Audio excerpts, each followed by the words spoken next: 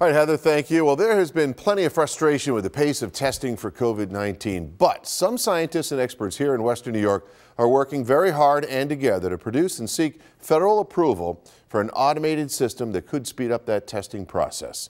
Channel 2's Ron Plants explains. We need obviously more testing capacity and we need it quickly.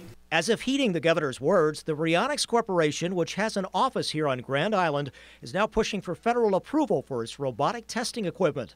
It's a sophisticated lab workstation called Encompass. Uh, you close the door and you hit a button uh, to actuate the whole system, and the software takes over and it runs the complete assay without any attendance from the operator.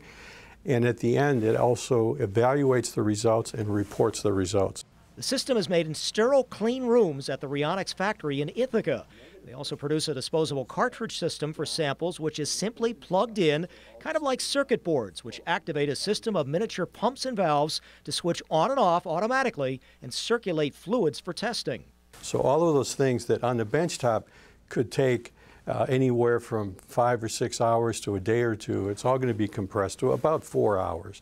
If operated on a 24 hour basis, Montagna says the machine could analyze 144 samples per day, as compared to some standard runs of only 20 process lab tests per day. Then there's the more portable size and lower cost of the unit, which resembles an oversized microwave oven. We're more focused on where you have a, you know, a small community hospital or even some of these drive-through situations where you want to get a sample and run it and get results in a few hours.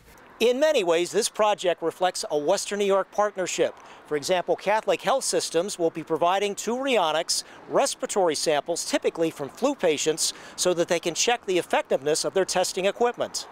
That agreement is pending final approval, but they have lined up the Buffalo based ZeptoMetrix lab to make inactive safe samples of the coronavirus for their use and a UB professor to assist with statistical analysis, all to convince the FDA that it qualifies for an EUA, that's an expedited emergency use authorization to allow marketing of the system.